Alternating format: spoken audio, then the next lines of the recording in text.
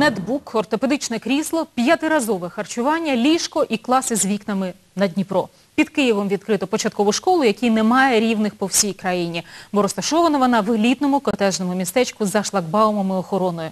І це на тлі того, що через злидні 1 вересня не відчиняться близько півсотні державних шкіл.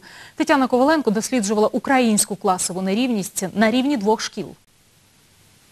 Класова нерівність це те, що в Україні очевидно на прикладі звичайних шкільних класів. Ось цей з новенькими партами і ортопедичними стільцями презентують своїм чадам урядники й депутати. А такі довоєнні умови, аби розуму набирався простий український народ.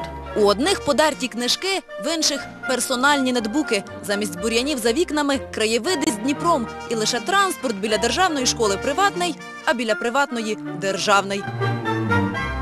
Село Попільня на Чернігівщині, як і на більшості сільської території України, ця школа із колись багатої Була і кролеферма, раніше була свиноферма. перетворилася на богом забуту. Посвячується цей дім. Крім охорони церковної, цілий загін на сігвеях пильнує шкільне подвір'я. Навіть назва у новозбудованого закритого елітного містечка не проста, а золота – золоче. Розрахована школа на 15 дітей в класі максимум. І якщо враховувати п'ятиразове харчування в класі і е, без додаткових е, факультативів, це десь буде 5 тисяч, а якщо ще розвозка, доставка, це буде 7 тисяч.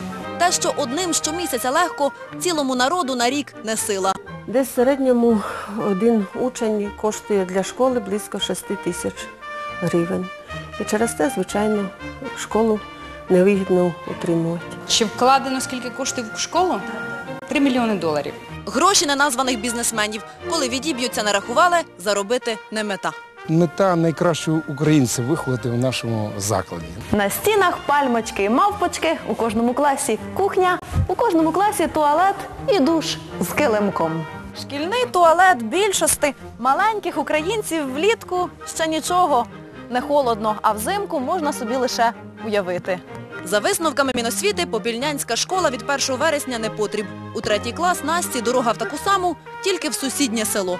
Вчитися треба. П'ять урядовців, п'ять депутатів, міністр, губернатор і навіть мер Ялти. Похід до цієї супершколи тільки через червоний хідник. Інакше, як у гумових чоботях, калюжами й бур'янами, до сільської школи нам з Настею не підступити. Народні слуги до таких шкіл не доїздять. Завжди знайдуться друзі, які збудують їм школу їхнього класу. Якщо на виборах 2012 року я потраплю у наступний парламент, то, звичайно, мої діти будуть навчатися в цій школі. Тетяна Коваленко, Володимир Леонов, Дмитро Орлов, ТСАН 1+,1.